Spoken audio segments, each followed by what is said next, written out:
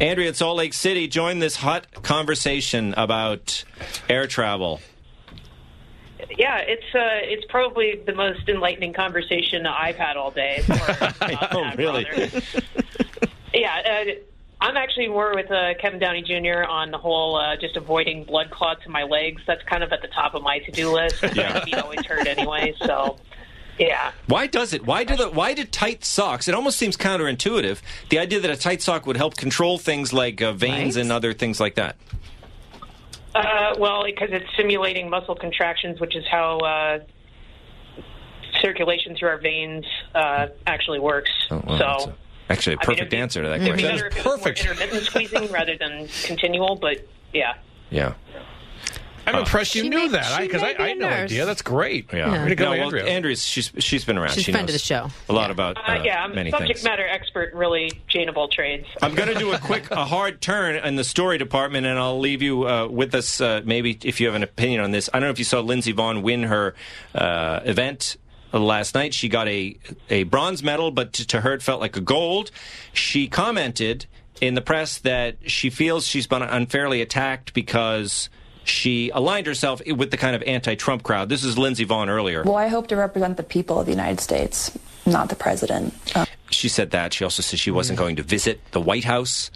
And so some of the, the Trump supporters used to attack her online. They were hoping for her to fail and things like that. And uh, do you feel bad for Lindsey Vonn, Kevin? No.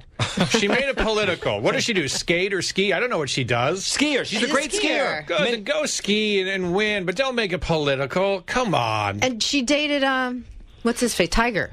She dated Tiger Oh. Woods. Tiger Woods, Yeah. right? Yeah. I heard I heard her bronze identifies as a gold.